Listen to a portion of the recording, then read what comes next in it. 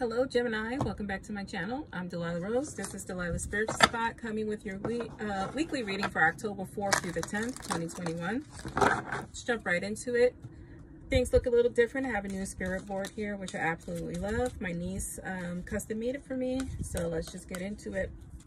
Remember, this is for all Gemini, Sun, Moon, Rising. We will start with your Ascended Master or Archangel guidance.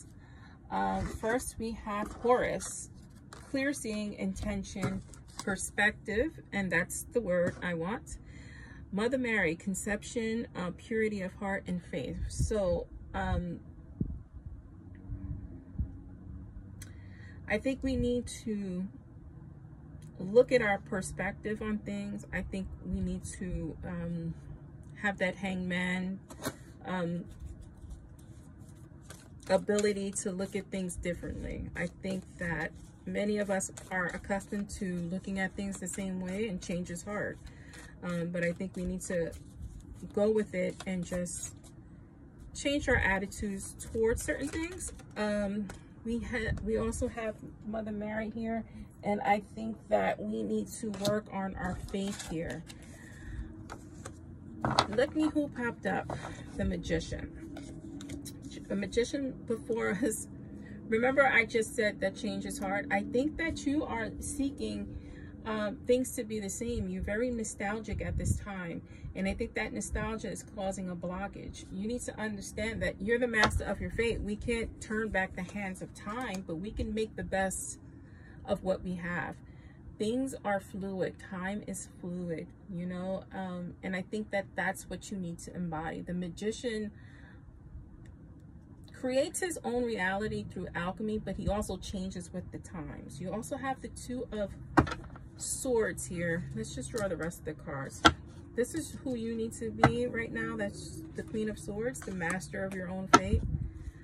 We have Three of Wands above you. We have Seven of Pentacles. Here's the Hermit. I knew you were going to pop out.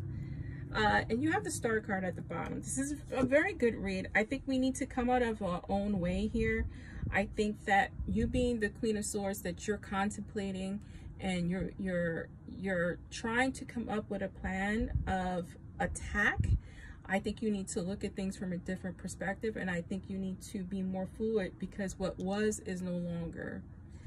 Um, being the magician, you need to adjust to the times. Um, and still be the master of your fate, right? So we adjust and then we create, and that's who you need to embody. With the Two of Swords being over here, it's time to compromise. It's time to look at things from a different perspective and compromise and understand that, again, it's a different time, right? And we need to just go with the flow, for lack of a better word. I love this um, and I feel like this is your attitude for most of the week, trying to be this Queen of Swords. Um, you could be gentle or you can be fierce. You know, it's it's based on the circumstances. You know, the Queen of Swords is very self-sufficient. She's very honest. And I think that honesty needs to be honest with yourself, uh, as well as honest with other people. You know, you do want different things, right? And that's represented here by the three of wands.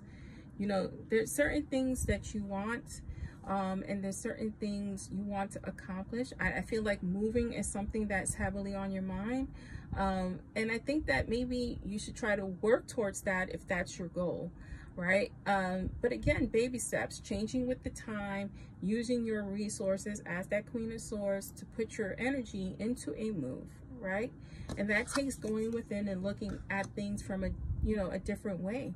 Seeking the answers from your higher power, this intuition, the clear seeing, um, with Mother Mary's purity of heart and having faith that things are going to work out. I mean, it looks like things are going your way here, which is are granted with that star card.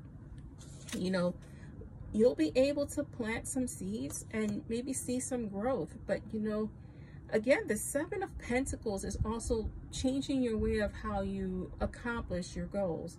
So I think once you become fluid, Um, really take time to think about what it is you want. Set your intentions towards that goal. Have some faith. Um, I think you can totally get what you want in life. Uh, this is a great read. Yeah, let's give you some oracle cards. Let's see here. Great reading here. It's hard. Change is hard. You know, we like what we like. Humans are creatures of habit. Um, and it's hard it's hard to have that change but change is uh, sometimes very good it's very good uh, we have the medicine woman heal i nurture and nourish my mind body and soul through the change being this queen of swords looking at things from a different perspective having faith purity of heart that embodies this whole card here two cards. You have the love of Zeus, lovers. The cosmic union is destined for greatness. This is you in union with your faith is destined for greatness, but it's blind faith, right? And taking the cues from spirit and and trusting your choices. You have the Holy Child. I love that Mother Mary's here. You have the Holy Child. Um, I am a divine child of the universe. We are. We are all children of the divine. Um, and this is your reading, uh, Gemini, and I'm Delilah Rose. This is Delilah's Spiritual Spot.